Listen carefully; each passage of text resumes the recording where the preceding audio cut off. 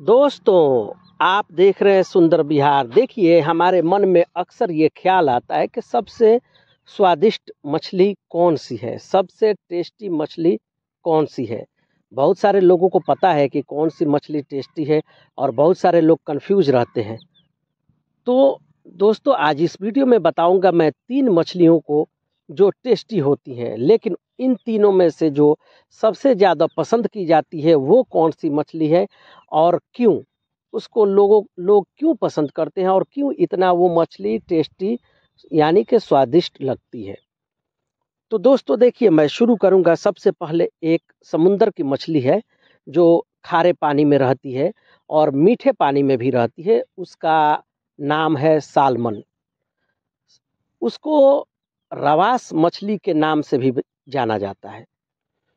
तो ये मछली टेस्टी होती है और इसको पसंद किया जाता है, लेकिन हर जगह समुंदर नहीं है और बड़ी बड़ी नदी के आसपास में हर कोई नहीं रहता है तो ये मछली आसानी से हर जगह नहीं मिलती है।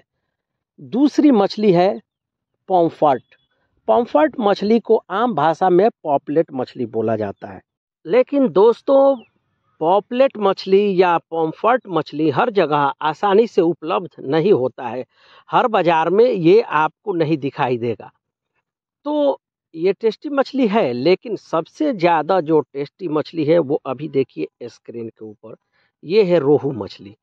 और रोहू मछली हर जगह पर आसानी से मिल जाएगी। ये नदी में भी मिलेगी, तालाब में छोटा छोटा जगह होगा, जलाशय होगा, वहाँ पे, वहाँ पर भी डैम में भी हर जगह ये मछली मिलती है और टेस्टी होती है, इसका कारण है दोस्तों।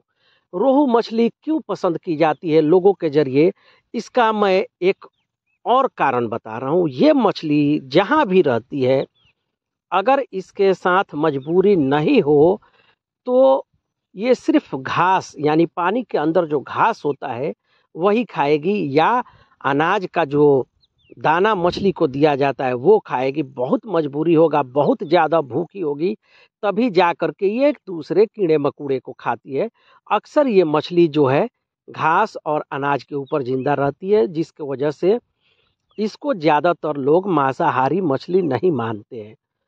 तो ये मछली इसलिए भी पसंद की जाती है, क्योंकि ये मांसाहारी मछली में नहीं गिनी जाती है, बहुत इसको भूख लगा होगा चारा नहीं मिलेगा तभी जाकर के ये छोटे छोटे कीड़े मकोड़ों को खाएगी।